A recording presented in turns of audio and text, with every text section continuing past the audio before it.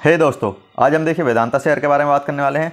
हमारा जो वेदांता शेयर है, एक बहुत अच्छा शेयर है, लेकिन आज इसमें जो गिरावट हुई है, लगभग तीन पॉइंट सेवन टू परसेंट की, और दो सौ छियासी पर ये बंद हुआ है। तो ये क्यों हुई, इसका कारण जानने की कोशिश करेंगे।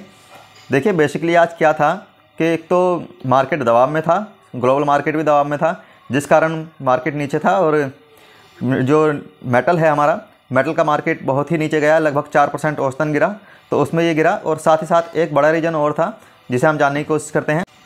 तो दोस्तों, अगर आपने अभी तक हमारे चैनल को सब्सक्राइब नहीं किया है तो प्लीज़ इसे सब्सक्राइब कर लीजिए, ताकि ऐसी ही वीडियो आपको हमारे चैनल पर हमेशा मिलती रहे।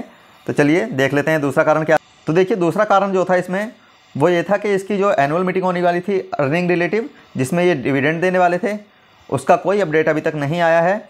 और हो सकता है बारह तारीख में ये अपडेट आ जाए इसमें देखिए लास्ट जो अनाउंसमेंट इसमें आपको दिखा रहा है नोटिफिकेशन में, वो दिखा रहा है चार अक्टूबर की, लेकिन ये दस तारीख को जो मीटिंग होनी थी सॉरी ग्यारह तारीख को, इसका कोई अभी तक अपडेट नहीं आया है। तो जैसे ही ये अपडेट आएगा तो आपको वेदांता शेयर फिर से भागता हुआ दिखाई दे सकता है, और नेक्स्ट टारगेट साढ़े तीन सौ, चार सौ तक के हो सकते हैं।